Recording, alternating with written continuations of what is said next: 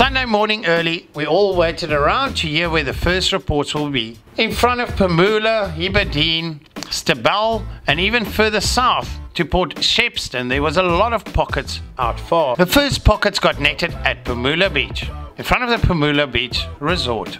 Dean and Linton then shot down to Port Shepstone to look for any action there. As soon as we got the reports from Pumula, we went straight to Stabell Rocks. The guys were already getting good pulls every now and then. The pulls just increased as the day went along, but this spot's very tricky because there's a lot of reefy pinnacles sticking out in front of Stabell, so landing big fish is not an easy task.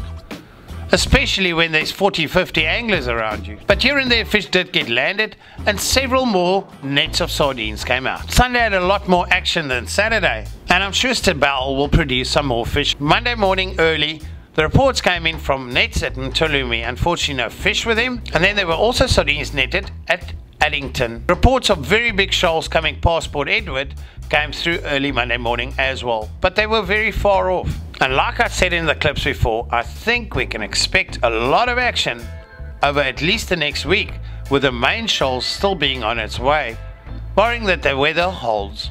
Make sure you subscribe to our channels to receive regular sardine updates.